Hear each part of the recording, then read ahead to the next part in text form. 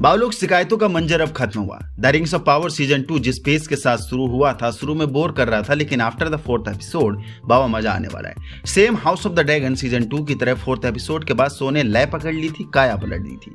खैर, आज बात करेंगे future prediction and ending of fourth episode यानी फिफ्थ एपिसोड में क्या क्या मिल सकता है हमें। जहाँ मैं बुक का सहारा बिल्कुल भी नहीं लूँगा, वरना सारा कुछ स्पॉइल हो जाएगा। तो बाबा फोर्थ एपिसोड तक काफ़ी कुछ शो में बिल्डअप हो चुका है और एक साथ पाँच से छह फेस में कहानी चल रही है। Lindon Numenor Mordor Rhun Khazaddum and main part Eregion में।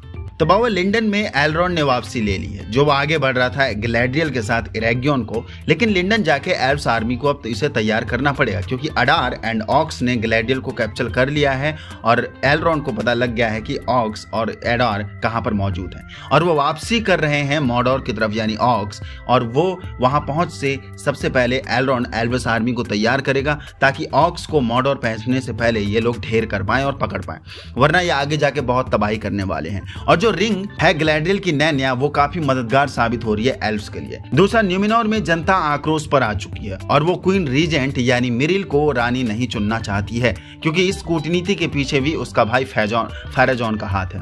और दूसरा, जनता उससे इसलिए भी नाराज़ है क्योंकि उसने एल्विस जादुई मनी या फिर पत्थर कहो, जिसका नाम प्लांटिर है, उसका इस्तेमाल किया। और वो न्यूमिनोर के लोग पिछली जंग में अपने लोगों के खोने की वजह इस एल्विस कनेक्शन को ही बता रहे हैं।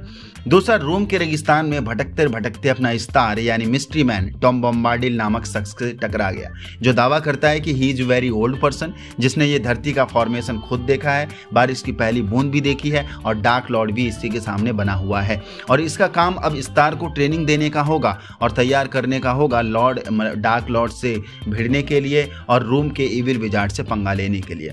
इसके बाद नौरी और पॉपी अपने पुराने ट्राइब के मेंबर से मिल जाते हैं इसी एक्सीडेंट में, जिनको वो जिनको वो स्टूअर्स कहते हैं। और वो पहले कभी एक जमाने में स्टूअर्स और हारफूड्स एक साथ रहा करते थे तो बाबा ये भी इंटरेस्टिंग पॉइंट है।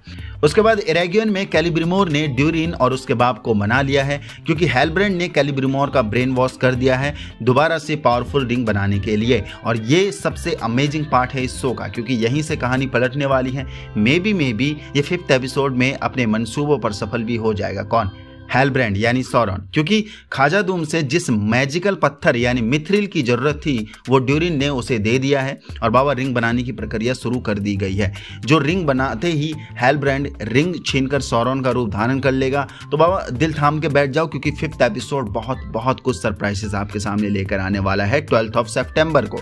और इस एपिसोड के बाद रिंग्स ऑफ़ पावर की काया पलटने वाली है डेफिनेटली क्योंकि सौरन अब तबाही मचाने वाला है। सबसे चुन चुनकर बदला लेने वाला है खास खासकर ऑक्स एंड अडार से देन उसके बाद मैंस, एल्व्स एंड ड्वाफ्स ये भी इसके चपेटे में आएँगे, इनको भी ये पेल सकता है।